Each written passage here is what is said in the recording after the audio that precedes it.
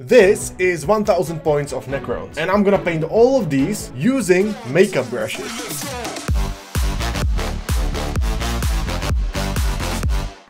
And I know that this might sound kinda weird, but there is a reason for this. If you remember this little guy which I painted for my dry brushing video, I actually wanted to paint entire army like this. So of course, last time I used these expensive Artis Opus dry brushes, and actually some of you guys told me that I can use cheap makeup brushes instead. And today we are gonna test this hypothesis. And just so you guys know what we are dealing with here, this Artis Opus set costs like 80 bucks. What I am using instead are these really cheap makeup brushes which cost like $10 per pack. These are also suitable for vegans, which I'm not.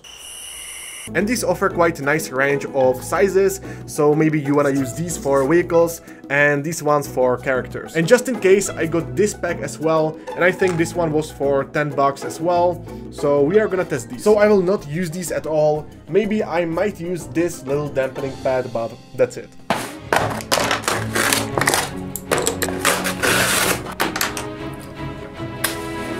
Comparing my cheap makeup brushes to expensive Artis Opus dry brushes, so far I cannot really feel any difference. Both are soft, which is ideal for dry brushing. In any case, I will use this textured palette. It's useful because you can easily get rid of excess paint and water in your brush by using this circular motion. For the entire army, I'm gonna use pretty much only dry brushing and a bit of stippling. You don't need too much water for these techniques, so this palette is ideal for this. Although you will waste some paint. First on the menu is base coat For this job, using large makeup brushes is ideal, since you won't waste too much time. Even here, I am not adding any water, because that way you get better coverage faster. There is a chance that you create some texture here and there because you might be hitting the same spot multiple times, but since I am aiming for this sort of weathered and old look, it doesn't really matter. Now the base coat on these guys is a little bit dark, but now we are ready to build some volume. And by that, I mean painting some reflections. To help us understand this better, simply look at these two Space Marines. One is painted with volumetric highlights and the other is flat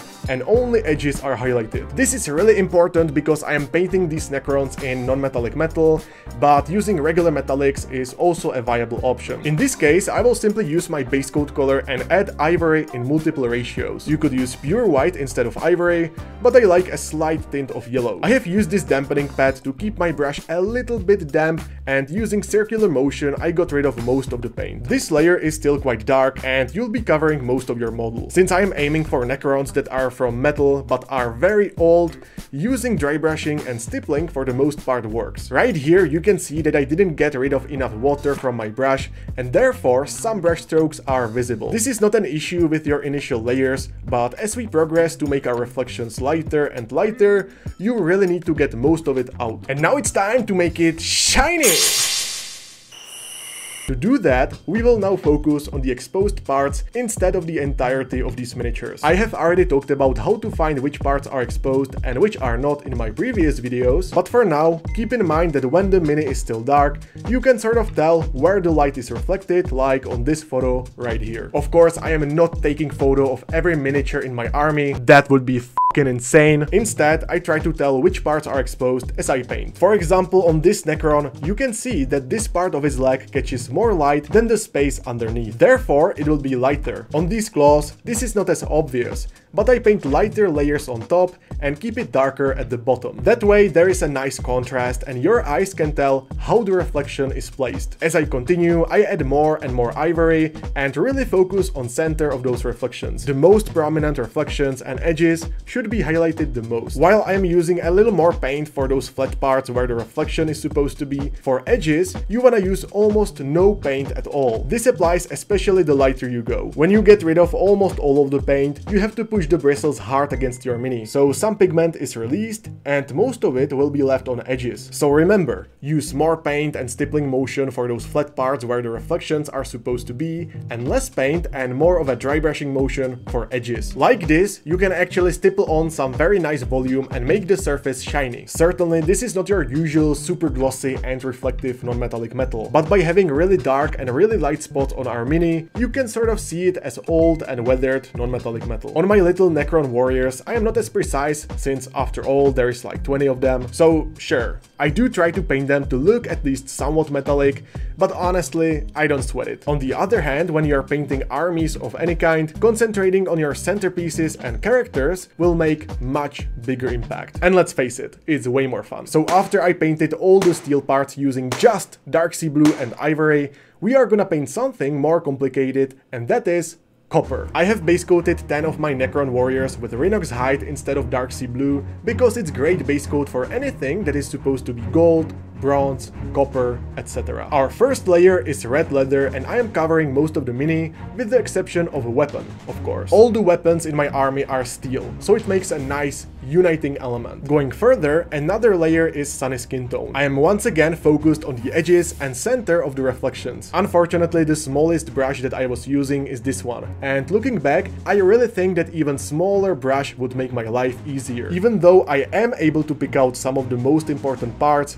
Using smaller brush and stippling motion is straight out better to paint reflections. Last paint to finish our copper slash bronze slash brass part is once again ivory. At this point I am using it very sparingly, just for the most exposed edges and for the most prominent reflections. Similar process is used for gold parts as well. However, with the exception of Rhinox hide, all the paints are different. For NMM gold, this is the recipe that you wanna go for. It's also very similar recipe that I used for this miniature, so I think that it works. First, I layered British khaki. Then I stippled Japanese brown. I continue with yellow ochre, and went for final layer, which is stippled pale yellow. Somehow I am not too happy with this gold. Somewhere it looks quite alright, but on those flat parts like these, it's problematic. I think this happens with dry brushing when you have to use more than two paints and you lack control of how much of each tone is present. So for those colored non-metallic metals, it might be better to do it the good old way or to use controlled stippling with a smaller brush. Now I bet you're thinking, but surely you cannot paint any glow effects using dry brushing, right?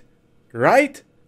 Well, Think again, I start by picking out all the glowy parts with livery green. You can actually get quite far with stippling, since it's your ultimate hobby cheat for pretty much anything. Since we paint another light source, if you hit any surrounding edges, it's actually good, because they are exposed to this new light source. You don't necessarily wanna go overboard with it, but some light will definitely hit surrounding parts. Light is also supposed to be very saturated, so I am using fluo paints to make it happen. These paints are semi-transparent and have satin finish, so if you are not used to using them, tread carefully and use just a little bit to cover entirety of the light source and surrounding space. Now even though this result is quite nice, we will go a step further and apply a bit of ivory just on a tiny spot on your light source. Once again, you can see that smaller brushes would be really handy right now, but I am using just a few bristles of this brush and somehow it worked out. This layer of ivory is a nice foundation for yellow fluo paint. As you can see, just a few stipples on top of it is enough to make it really bright and saturated. This way, you get really nice light source. At this point, almost everything is painted except for the blades and bases. Both of these are gonna be purple and magenta,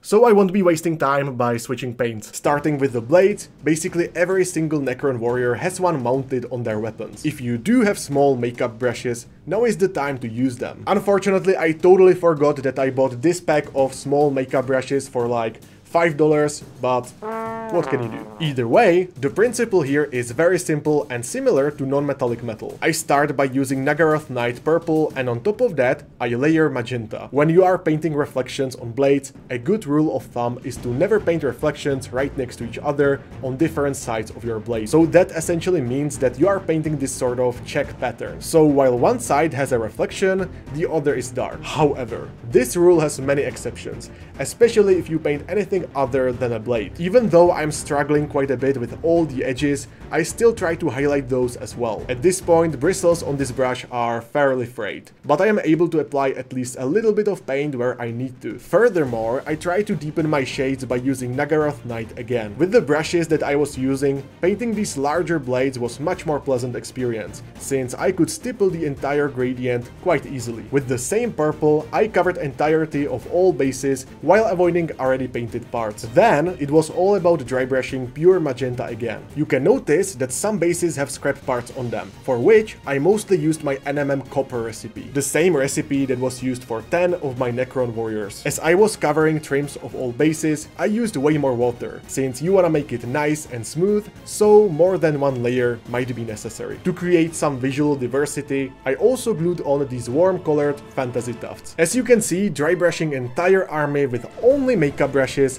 absolutely works. It's fast, it's pleasant, especially if you get smaller brushes, and it's also easy. Does it look good though? Well, I think this really suits armies like Necrons, where there is a lot of metallic parts, but I wouldn't necessarily use it for Tyranids, for example. You could also see me use a lot of stippling, which is fast as well and you have much more control. I think that stippling is the ultimate hobby cheat, and can be used for pretty much anything. And for example, this entire Space Marine was painted with it. So, if you wanna learn about alternative to dry brushing, which gets you way, way better results, there is a video for you, right here, and see you there!